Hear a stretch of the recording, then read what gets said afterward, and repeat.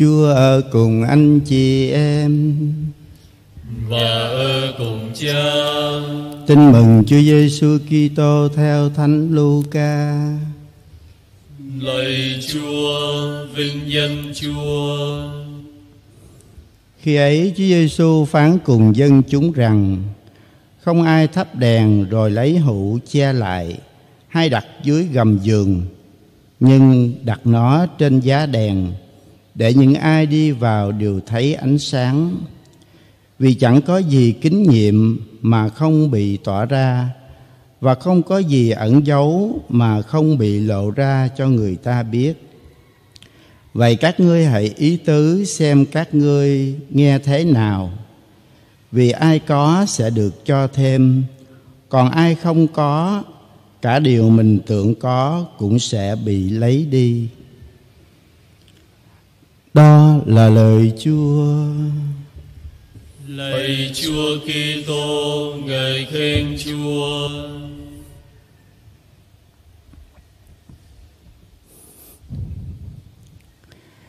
Anh chị em thân mến khi đọc câu chuyện tin mừng hôm nay thì tôi nhớ đến một bài hát sinh hoạt của cha Quang Quy đã sáng tác để giúp cho các em có thể dễ nhớ, dễ hiểu và dễ học hầu đem ra áp dụng cho đời sống của mình. Bài hát đó có ý nghĩa như thế này: Không ai thắp đèn rồi đem đặt gầm giường. Không ai thắp đèn rồi lấy thùng úp lên. Nhưng khi thắp đèn thì ta đặt trên giá để cho mọi người thấy ánh sáng hòa ca anh chị em thân mến, chắc chắn ai trong chúng ta cũng biết lợi ích của ánh sáng là gì. Lợi ích của ánh sáng là chiếu tỏ cho người thấy tất cả mọi sự. Lợi ích của ánh sáng là xua tan bóng đêm. Lợi ích của ánh sáng là đem lại sức sống cho muôn loài, muôn vật. Thế nhưng, ánh sáng đem lại lợi ích như thế thì bản chất của ánh sáng trước hết nó phải là gì, như thế nào trong đời sống của nó? Để giúp cho chúng ta có thể thấy rõ được điều này, thì chúng ta hãy nhìn một ngọn nến đang được cháy ở trên ở trên bàn thờ. Để có thể cháy trên bàn thờ được như vậy, thì ngọn nến đó trước hết, nó phải là một ngọn nến thật nghĩa là nó phải có chất sáp. bởi vì nếu như một ai đó đúc một ngọn nến giống y hệt và sơn phết, sặc sỡ rất đẹp, nhưng mà ngọn nến đó bằng bê tông cốt thép, thì chắc chắn ngọn nến đó sẽ không bao giờ cháy được cho nên để làm một ngọn nến cháy được, thì nó phải có chất sáp thật, thì nó mới có thể giúp cho nó được cháy sáng nhưng nếu nó có chất xáp thật trong đời sống của nó, mà nó không chấp nhận bị thiêu đốt, thì ngọn nến đó cũng là một ngọn nến vô ích mà thôi. Cho nên điều thứ hai để giúp cho nó có thể đem lại ánh sáng cho đời, thì nó phải chấp nhận bị bị nóng, chịu tiêu hao và mỗi ngày phải bị tàn lụi đi phải chăng đức giêsu muốn dùng những cái hình ảnh này để mời gọi mọi người chúng ta hãy cháy sáng trong đời sống của mình bởi vì khi chúng ta được lãnh nhận bí tích rửa tội, thì ai trong chúng ta cũng có Chúa Kitô trong đời sống của chúng ta. Và Ngài mời gọi mọi người chúng ta hãy thắp lên ngọn nến Kitô trong đời sống của mình. Vậy thì tôi phải làm gì để thật sự tôi có một cái chất sáp Kitô mà mỗi ngày chúng ta cháy lên trong đời sống của chúng ta đây? Thưa tin mừng, mời gọi chúng ta hãy ý thức một điều. Các con hãy ý thức nghe những gì các con nghe và có thể nói là hãy nói những gì chúng con cần phải nói chúa mời gọi chúng ta cần phải nghe những gì cần nghe nghĩa là đón nhận lời chúa trong đời sống của mình. Và tôi cũng cần phải nói lời Chúa trong đời sống của chúng ta. Thì chính lúc đó trong con người chúng ta mới thật sự có chất xác Kitô. Và chưa đủ, nếu tôi chỉ nghe và chỉ nói lời Chúa mà không thực hành lời Chúa trong đời sống của mình thì chúng ta cũng chẳng khác nào như một ngọn nến đang đặt trong bóng tối mà không được thắp lên.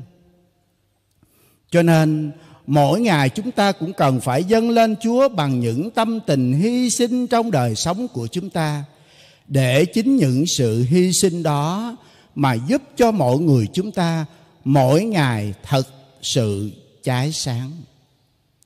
Và quả thật khi tôi dâng lên Chúa bằng những tâm tình hy sinh trong đời sống của mình thì chắc chắn mọi người chúng ta cũng sẽ gặp những thử thách, những chông gai, những khó khăn, những đau đớn trong đời sống của mình. Nhưng chúng ta hãy vững tin vào Chúa. Bởi vì có ơn Chúa sẽ giúp cho mọi người chúng ta chịu đựng và vượt qua hết tất cả mọi khó khăn trong đời sống của mình. Người ta kể về một câu chuyện đó là một ông chủ của một ngọn hải đăng có những lời đối thoại với chính cái ngọn nến của mình. Một hôm vào một buổi tối thì ông ta cầm một ngọn nến để, để đi lên một cái ngọn tháp cao. Chính lúc đó thì ngọn nến đã hỏi ông chủ của mình ông đem tôi đi đâu đó và ông chủ trả lời ta sẽ đem mi lên một cái ngọn tháp thật cao để thắp sáng lúc đó thì ngọn nến nói ông đừng đem tôi lên cao, bởi vì nơi cao đó có gió mạnh, tôi không thể nào có thể cháy được. Ông đừng đem tôi lên cao, bởi vì ngọn nến tôi rất là yếu ớt, ánh sáng tôi rất ít. Cho nên tôi có lên cao đi chăng nữa, thì tàu bè ở xa cũng không thể nào thấy được tôi. Lúc đó thì ông chủ đã nói với ngọn nến như thế này, bổn phận của mi thắp sáng thì hãy thắp sáng.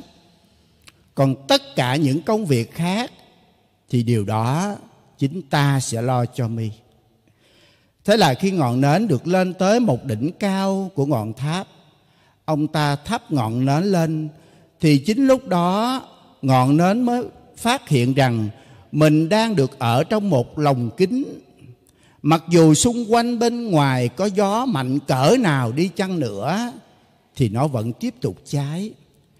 Và khi mà nó được đứng ở trong lồng kính như vậy, nó cũng mới phát hiện rằng những chiếc kính đó là những chiếc kính được phát quang rất là sáng.